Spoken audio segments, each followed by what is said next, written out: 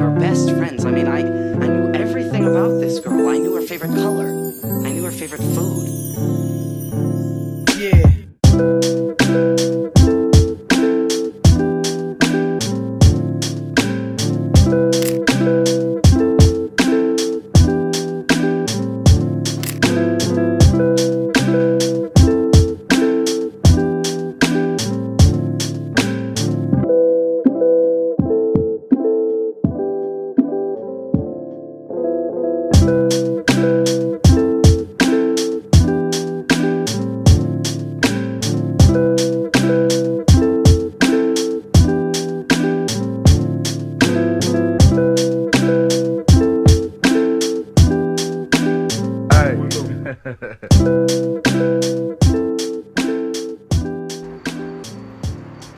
너 지금 사진 찍으면 되게 멋있게 나와.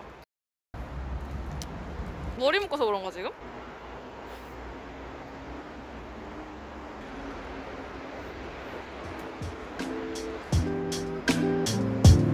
Yeah.